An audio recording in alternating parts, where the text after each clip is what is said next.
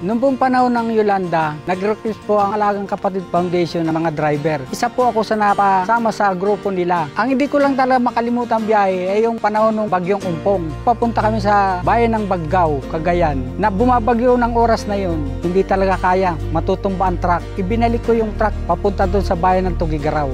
Kinabukasan na kami uli bumalik sa bayan ng Baggao. Wala pa namang nangyayari sa akin gano'n na talaga yung buhay ko sa alanganin. Alam ko naman yung kung paano ako mag-drive ng isang sasakyan. Lalo na si Poton, talagang maasahan siya. Kahit po bundok, ilog, lusungin namin. Andiyan pa rin po siya, kasama-sama ko lagi. Kahit nga po nagkawasak-wasak na po yung ulihang bumper niya.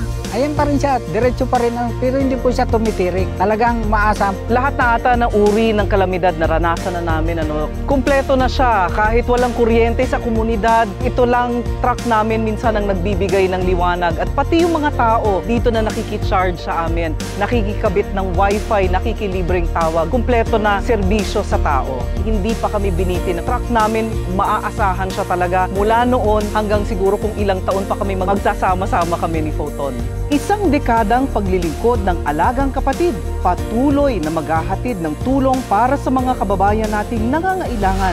Iba talaga kapag sama-sama tayo sa pagbibigay ng alagang kapatid sa ating mga kababayan.